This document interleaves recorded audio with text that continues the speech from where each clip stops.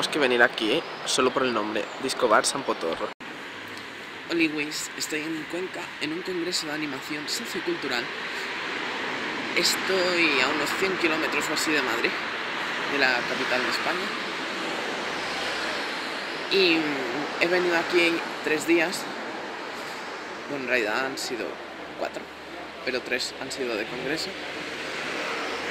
En el cual nos daban charlas de gente que está promoviendo esto, de diferentes proyectos que hacen, etc. Y también una de mis profesoras de este año de animación es una de las que han organizado todo esto.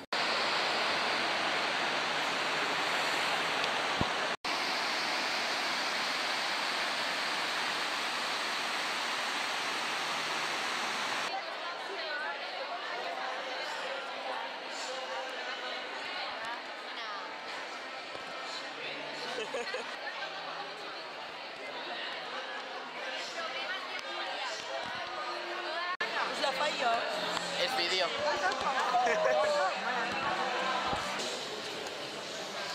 Hola, buenas tardes. Antes de comenzar nuestro teatro, os informaremos de dos puntos fundamentales que tenéis que tener en cuenta. Somos viejas, pero no tontas. Pensamos, opinamos y criticamos también, por supuesto. Y actuamos, no solo en el teatro, actuamos en la vida. Actuar hoy aquí para nosotras es todo un honor, todo un éxito. Pero realmente importa nuestra obra. Lo que realmente importa es lo que, no, lo que no se ve. Porque hacemos un grupo muy bueno. Y vamos, cada uno pone lo que puede. Y estamos muy bien. Y así, ay, que no lo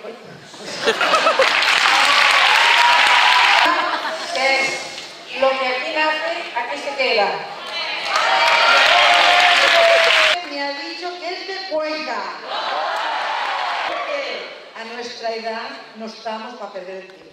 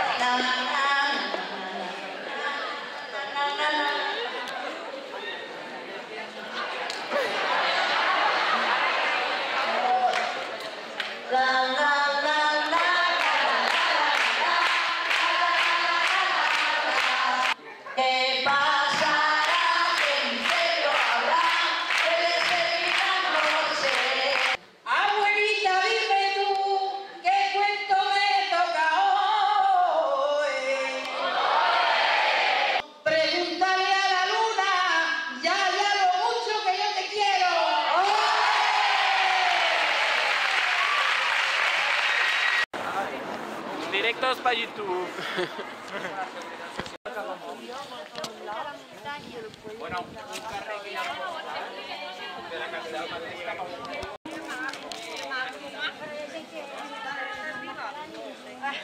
Esta historia tiene lugar en la ciudad de Cuenca. Nuestra protagonista, Inés, es una joven adinerada, la cual sale todos los días a dar paseos con su madre por la ciudad de Cuenca. Un día, paseando por las calles, se encontró con un joven apuesto llamado Julián, del cual ambos quedaron locamente enamorados.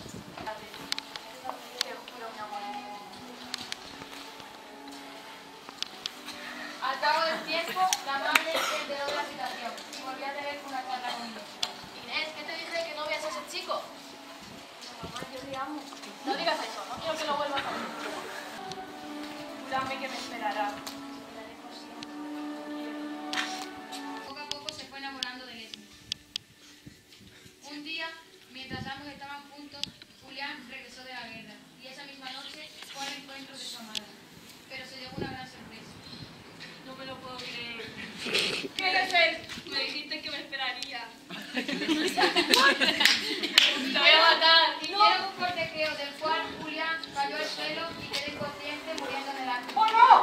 Jesper, asustado por la situación, salió corriendo con la mala suerte de que se tropezó y quedó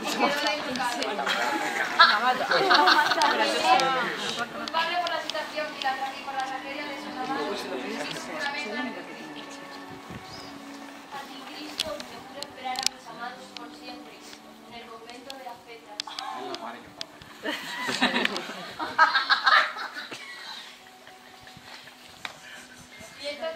que se cuenta, que se cuenta del Cristo del Pasadizo. Espero que os haya gustado. Renuévame, Señor Jesús. Pon en mí tu corazón.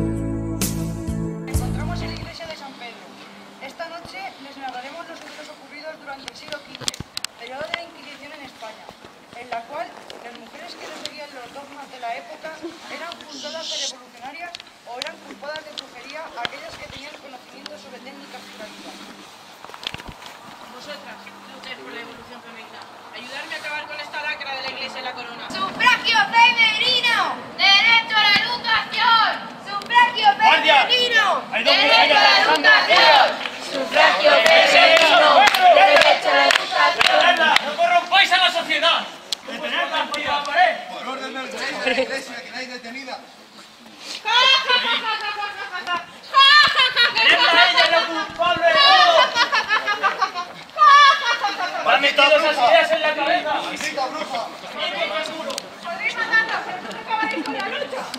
Ahora las tres van a ser emparedadas. Era el partido de las mujeres que desacataban las órdenes de la iglesia y la corona. Porque se cuenta que en estos muros se encuentran algunas de ellas. ¿En serio?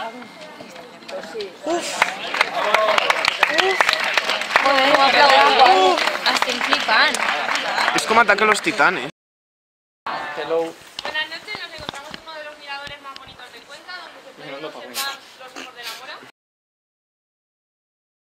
Los ojos vienen de una leyenda de amor, eh, venganza y, y muerte, que ahora os vamos a contar, espero que os guste mucho. Os voy a poner un poquito en, situa- en situación, ¿vale? Esta historia transcurre en los años posteriores a la reconquista de Cuenca, em, donde todavía cristianos y musulmanes convivían, pero tenían totalmente prohibidas las relaciones entre ellos. No se podían comunicar ni nada. Pero poco les importó a los protagonistas de nuestra historia, un soldado cristiano y una joven musulmana, que un día pas- paseando eh, cruzaron miradas y se enamoraron, perdidamente el uno del otro. Pero su amor fue mucho más allá y comenzaron a verse escondidas.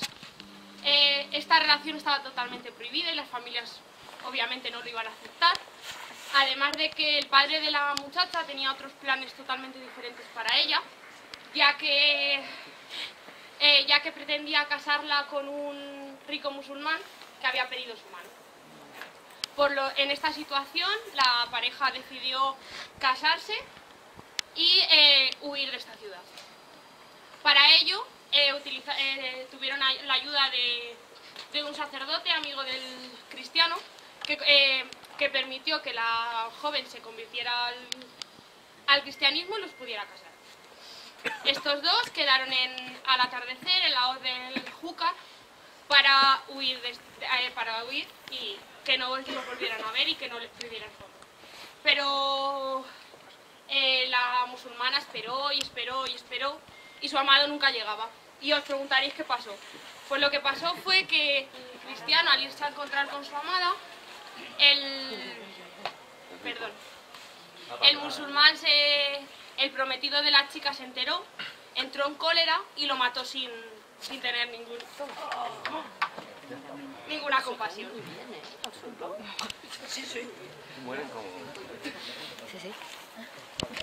Amor y La muerte en muchacha se enteró y se le rompió el corazón. Y la única solución que encontró fue el suicidio.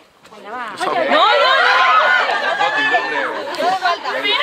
Tranquilo.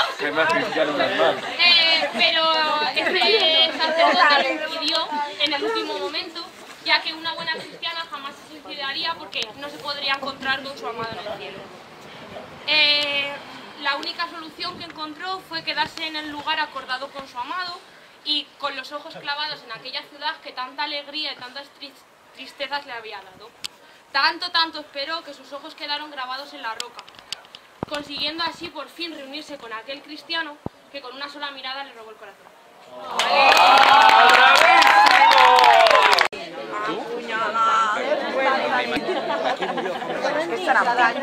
catedral y al escudo de Cuenca. Y del por qué aparece una copa que según la profecía de Nostradamus es el Santo Grial. Se dice, se cuenta la leyenda que allá por el siglo XII, Constanza, hija de Aragón, tenía una enfermedad desde muy temprana edad. Exactamente desde los 14 años iba de médico en médico buscando una cura de su enfermedad, pero todos le decían lo mismo, que no tenía cura y que en poco tiempo moriría. Es por ello que ella, devota de San Julián, decidió como última esperanza rezarle todas las noches. En una de esas noches, Constanza se quedó dormida. Y se le apareció en el sueño San Julián diciéndole, Deberás de ir a la catedral de Cuenca y beber del santo grial si de, si de tus dolencias te quedas Desde esa misma noche, Constanza decidió al día siguiente partir hacia Cuenca. Y desde los alrededores, andando, se encontró con un ángel, el cual le dijo, Constanza, bebe y sanarás. Constanza, bebiendo de la copa, al día siguiente y con el tiempo, se dio cuenta de que poco a poco iba sanando. Y es por ello que con su prometido acabó casándose en matrimonio.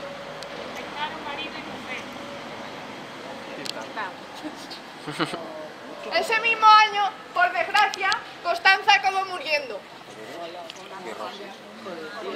Y es por ello que Federico, sabiendo que aquí en Cuenca, en la catedral, se hizo el milagro, mandó a que la catedral fuese ampliada. Y es por ello que se dice, según la leyenda, que debajo de la catedral hay unos túneles y en ellos está escondido el Santo Grial. La profecía además cuenta que Aquellos que estén en la catedral se salvarán del juicio final. Acompañadme, hijos míos, y os salvaréis. Qué secta. Bueno, que vamos a hacer una representación de la historia de, de Valencia. A ver, no es una leyenda como habéis visto antes, es una, esto es una historia de, de lo que es. de lo que- la muralla de la Puerta Valencia fue construida por los musulmanes.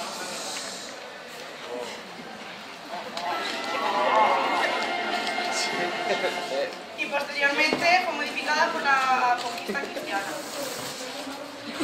Se vuela la muralla.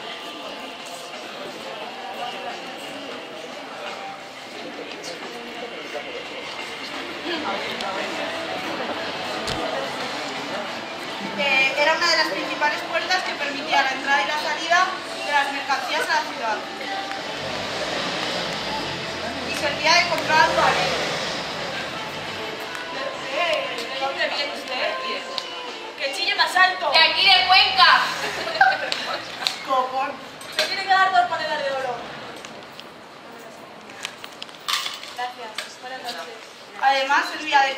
epidemias y de conflictos bélicos. Y se ve, o sea, Bueno, se se destruyó y ya solo queda el recuerdo. de los ciudadanos, tanto de ciudadanas de Cuenca.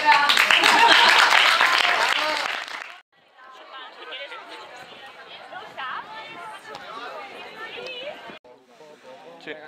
Eh, te hemos buscado a YouTube, eh. y nosotros vamos a contar y representar la leyenda del misterio de San Andrés. La leyenda cuenta que una tarde soleada de primavera, Elisa se disponía a recoger agua de la fuente de la plaza y junto a ella estaba el apuesto Gómez. Él eh, siempre la observaba cada vez que iba por agua. Un día de estos ambos se enamoraron. Con el paso del tiempo, eh, Gómez le decidió enviarle carta a ella y ella a él también. En una de las cartas propuso ser novios y que tuvieran un encuentro. En este encuentro, llevado por la fogosidad y la pasión del momento, ambos decidieron inti- in- intimar. Tras este encuentro, Elisa volvió a casa y le regañó a su padre. Elisa, qué vergüenza, ¿cómo has podido hacernos esto? Papá, yo lo quiero. Me da igual fuera de esta casa. Pero cariño, ¿qué ha pasado? Amor, te he desnudado a mi padre. Yo eso no lo puedo permitir, por eso voy a perder la vida. No, por favor. Tras esto, el sentido cañón tiene? corrió hasta este puente y se tiró. Cuenta la leyenda que tal fue la caída, que su sangre sigue corriendo por el río Hueca. ¿Y dónde esto no pasa? Lo normal no sería casarse. La del convento La Palma, La Palma. La Palma.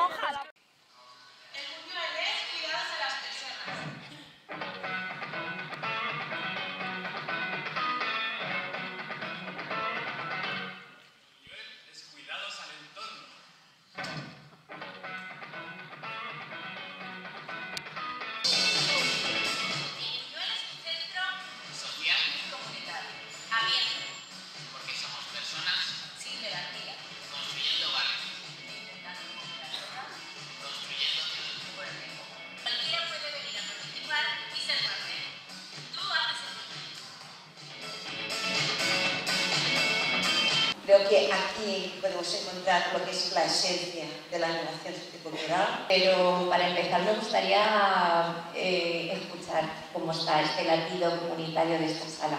Si me ayudáis. Vamos a hacer algo muy sencillo, muy sencillo.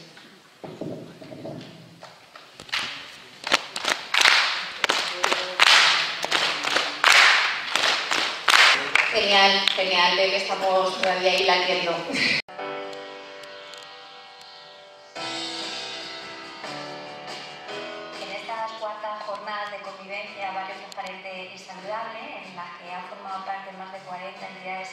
Del barrio del Polígono de Toledo, hemos querido trabajar conjuntamente con el lema de Conectemos Barrio.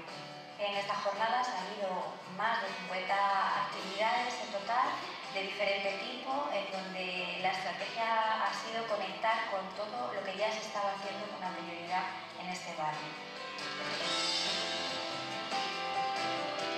Este curso hemos realizado la segunda edición de las Olimpiadas Escolares del Barrio, con la participación, igual que el curso pasado, de todos los centros educativos del barrio, primaria, secundaria y educación especial. La novedad de este año ha sido que Paideia se ha involucrado desarrollando una actividad de juegos populares.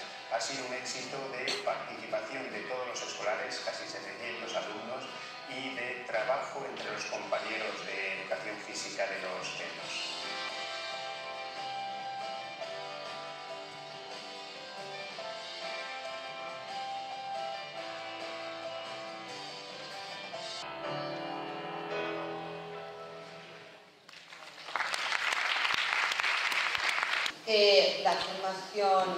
En animación cultural y en educación social nos sirve para eso, para conocer una metodología, para saber cómo organizarnos, para tener claro este, esta estructura que todo trabajo tiene que llevar detrás. Está muy bien la práctica, pero si no hay esta estructura, y aquí está donde eh, pone en valor la metodología de la animación cultural y la formación en ella. Luego trabajamos también con...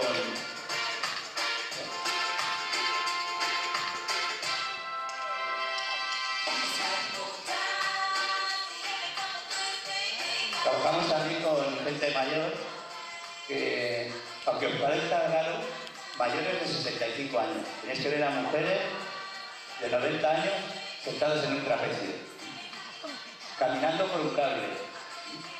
Y diréis, 65 años, ¿qué pueden hacer en circo? Pues tener en cuenta que hay mucha gente cuando llega a estas edades se siente que no sirve para nada y se queda encerrada en casa. ¿eh? Y se van, como digamos, marchitando un poco. Entonces, a través de planes comunitarios que trabajan con la gente mayor, hemos conseguido que hacer unas sesiones con ellos y luego, cuando hacemos esta fiesta, que hacemos un taller de circo, antes de, de la representación, ellos hacen de ayudantes nuestros. Se los veían y eso. logró autodecer en existientes días. Revivimos la persecución que desencadenó la aparición del mayor maleficado, conocido como el martillo de las brujas.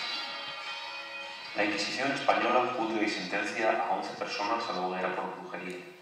Nosotros hoy le rendimos homenaje.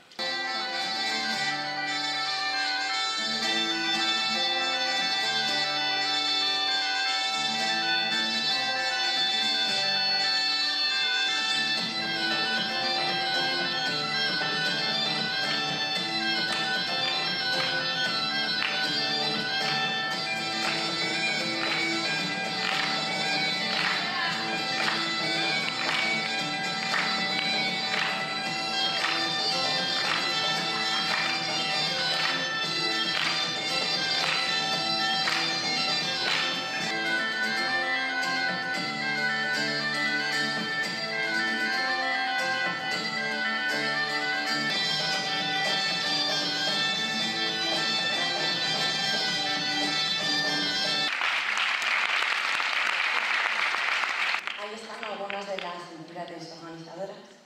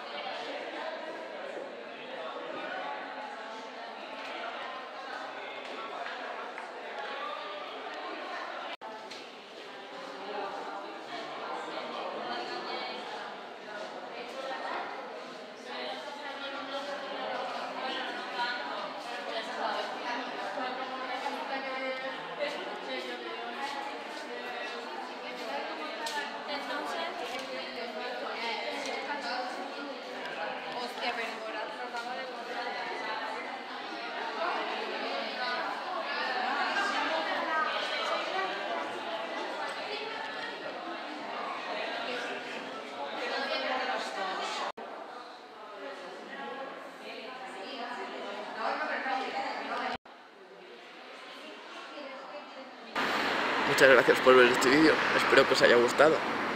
Un besazo y tener cuidado con no pisar una caca de vaca.